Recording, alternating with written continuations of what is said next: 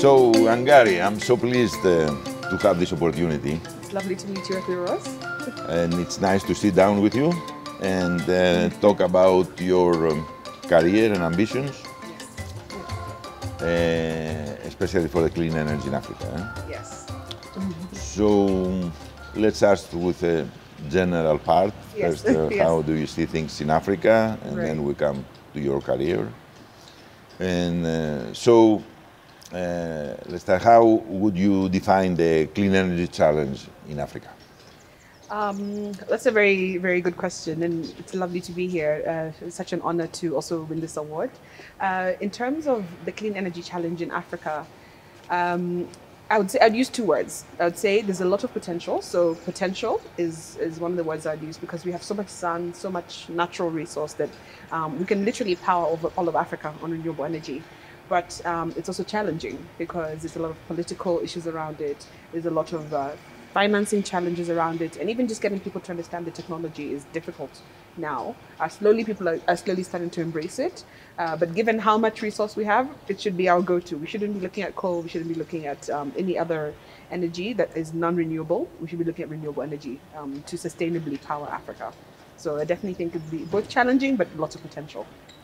But do you see a change happening in- Yes. in, uh, Yes. in Africa? Certainly. I think from when I uh, came into this industry in 2008, when renewable energy was still very new and very novel and um, very like mysterious, you know, people really wondered what are these things we're putting on roofs or what is this energy that's powered by the wind.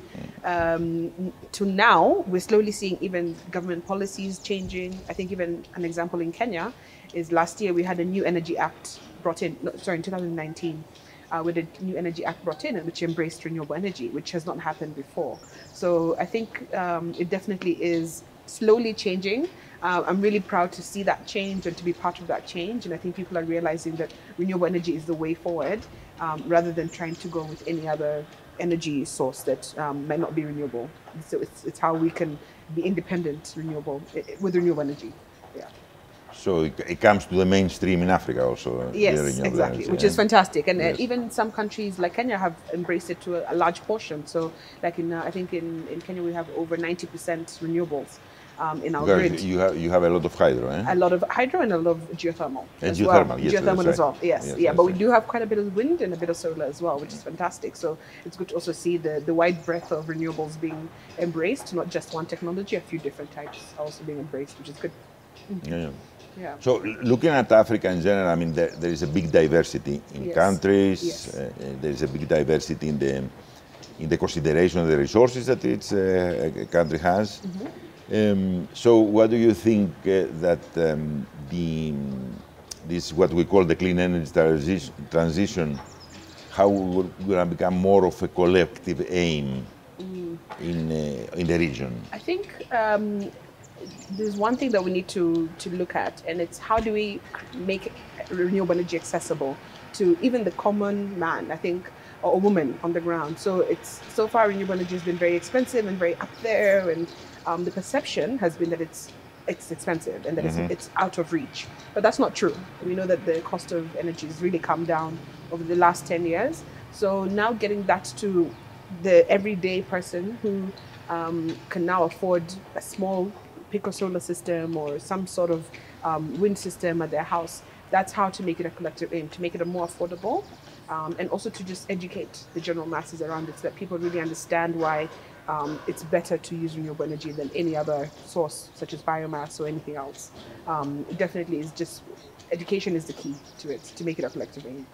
And the, is this happening? I mean, Uh, slowly, um, I think like with anything, trying to get into the the base of the of the, the of kind of the people, they're really on the ground. So getting to remote areas where there's no energy, um, and explaining to them why solar is so good, or why wind is so good, or why any renewable energy source is really is good. Um, it's, it's a challenge, uh, but I think slowly it's it's working, and there are uh, people doing it and doing the good work to to get people out there to know more about it. Um, so definitely there is there is a lot of work happening on that, and I think it is progressing well. And when you talk about uh, you know young pioneers and, uh, and activists in clean energy. Where should they focus their efforts in, Oh, in wow. this period? That's a big question, Atharis. That's a really is a big big question one, because yes. uh, um, there's so much that we can do. I think one, there's not we don't only need technical, so we do need technical people on the ground to help put in the systems and um, to help kind of make sure that renewable energy is disseminated across the, the continent. But also we need creatives to tell stories about renewable energy. We need um, people to take videos and films that will educate the people about um, clean energy. We need everyone to embrace it. We need doctors to put renewable energy on their clinics in rural areas. So we do need um, young people across the breadth, not just in technical engineering roles, but across the breadth to be able to embrace the whole uh, picture about renewable energy. And so anywhere that someone can tap in, I always say, um, even if you're a banker, you have a financing um, element to renewable energy. Even if you're a lawyer, there is a legal component to renewable energy. So I think we do need a lot of the young people in these different fields to come into the sustainable energy space um, or renewable energy space and really embrace that because that's what will make it um, kind of embraced by all the youth, not just one one small sec- sector Yeah, of yeah. technical people. Yeah. So I saw in your CV that you studied also renewable energy. eh? Yes, I to tell you the did. I truth, did. uh, you were the only candidate that studied in renewable energy. Oh, really? Oh, fantastic. I, I, I owe that to my mom, actually. Um, I wanted to do engineering uh, when I was in about 2008. And I wasn't really sure which renewable, which energy I wanted, which uh, engineering course I wanted to do, but I didn't want to do the typical mechanical, electrical engineering. I wanted to do something really interesting. Um, and I was lucky enough to go to Australia, to University of New South Wales, which is another pioneer um, academic institution in renewable energy. Um, and they had a course on solar and renewable energy and the different technologies. And I was like, that's what I want to do. Um, and at the same time, my mom was reading a book on uh, the next four revolutions of the world. And one of them was renewable energy, which was in 2008. So I decided to take a bet on it, and it worked out. So here I am. uh, I want to say 12 years later, uh, having studied it, really enjoyed the course, um, gone into the industry and embraced it, and uh, now I'm working in that field, which is fantastic.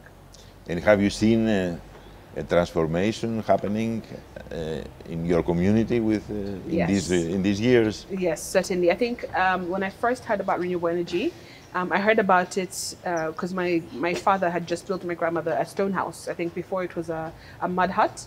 And so they had just ma- made it a stone house in our rural um, home. And uh, the, the house was very cold. It was very like, there was no electricity in it. And so for us to be able to charge phones in the house, my dad installed a, maybe a small panel. I, Ah, I mean, maybe the size of a, an A1 piece of paper on the roof.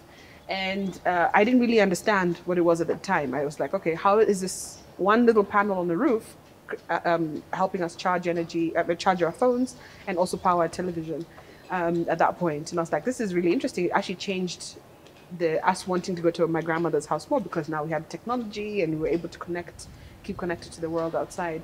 Um, and so from then, when I think about that small panel, which at that point was super expensive and really new technology, to now when you can have a whole solar system on the roof um, and power a whole home from from it, I think it definitely has transfer, transformed and changed. And the prices come down, technology's gotten better.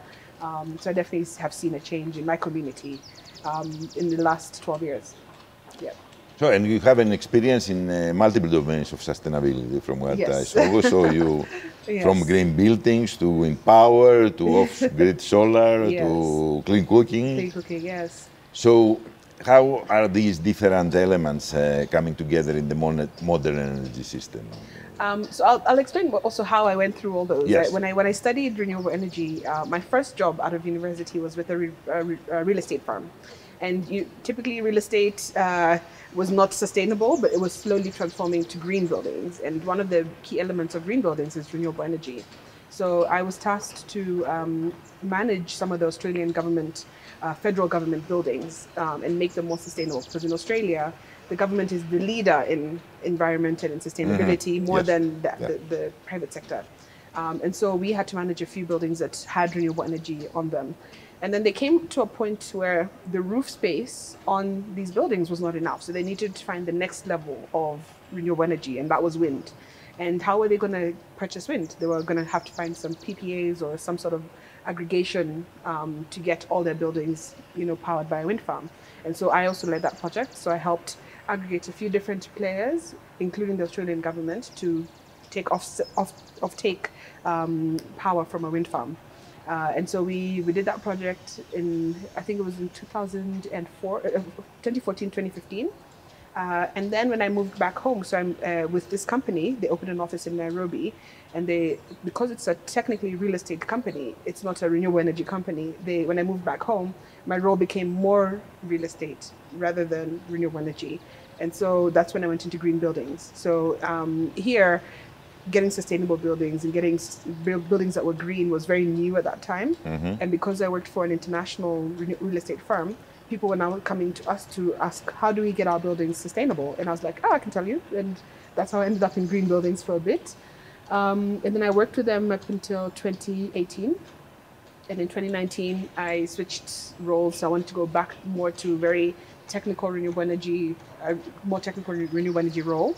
And that's when I started working for the NGO Hivos, um, where I. How long have you been working? So I've been working since September last year. So it's about a year, one year, one month. Yeah. Um, and I wanted to get more into actually create building systems for off-grid communities and systems that um, will help power people, uh, enable people to have access to energy for them to read and have lighting and, and all that. So, uh, sort of mini grids. Yes, uh, yes, mini exactly. Grids, so mini grids, but also more innovative than mini grids. So trying to like we're right now working on a project. Uh, to do with blockchain technology. Yeah. Yeah. And so yeah, I saw that. That's very, very interesting. thank part. you. Enabling people to trade energy between themselves because if I can't afford a solar system, but my neighbor maybe has a large system and they have excess power that it, you know doesn't get fed into any grid because it's off grid, goes to waste. Why don't I just buy it from them for a small token? Um, and I know they would be willing to sell it to me too because they have a, a, a, a new source of income coming into their household. So we're now building that technology and that infrastructure to be able to enable that trading between small players um, without using a utility, and that's where the blockchain comes in.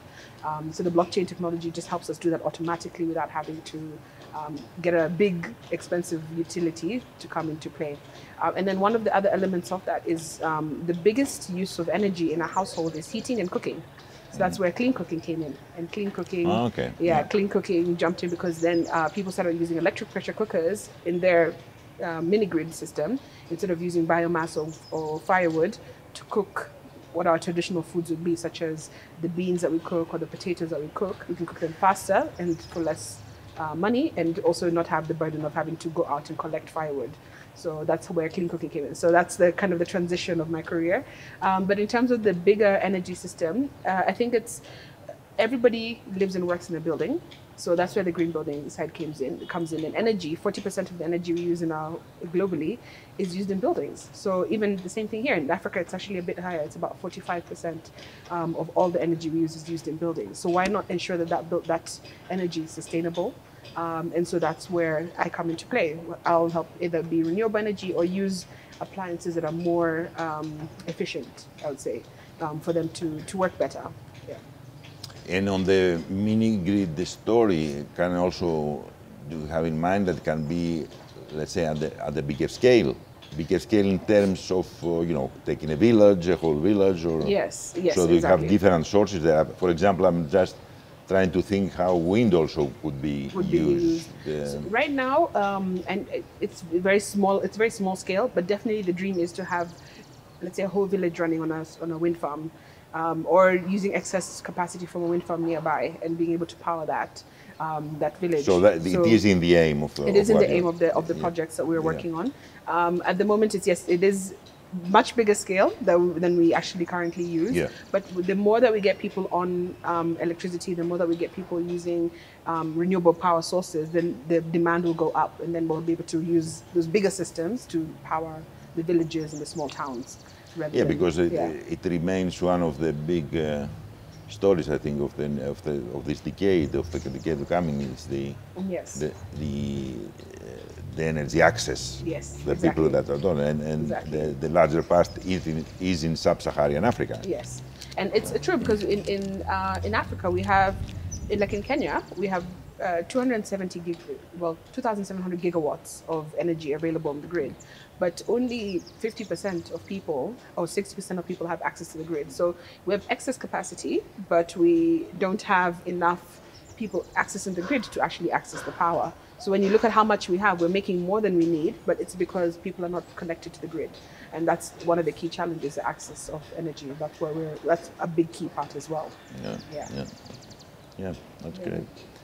So you know that you are the inaugural winner of the Revolutionaries Award. It's such an honor. That's it's of the amazing Steve to hear Sawyer that. Memorial Award. eh? big shoes to fill. Very big shoes to fill, but uh, it's such an honor. So what is your aim, having got this? Um, uh, Well, my, my aim with this award and also with the visibility that comes with it is to show that there are um, innovative projects in Africa. There is great potential, and there is young people working in this space that are making a difference. So I want to really shed light on that, shed light on, on some of the projects that we're working on, um, and also let people know that there are technical people who do great work in Africa um, in this renewable energy space that we don't always need to also always import because a lot of the projects that are done here are imported. Um, we've imported the manpower, the technology, and all that, Yeah, but we can yeah. actually do a lot of locally sourced um, technology, locally sourced manpower, um, and still achieve a really good project. And I think that's what I really want to show as well. Okay, so it has been a great pleasure Thank you so much, Adura. It's really nice to, meet to, you. To chat with you and to award you the, the, the certificate in the name of the jury, as I told you at the beginning, and uh, we'll be very happy to see you also in the future being a big ambassador for renewables. Yes, certainly. Thank you so much. On behalf of the jury of the Revolutionaries Award, of the Steve Sawyer Memorial Award, I hand you this certificate as a recognition for your valuable contribution to a sustainable development in Africa.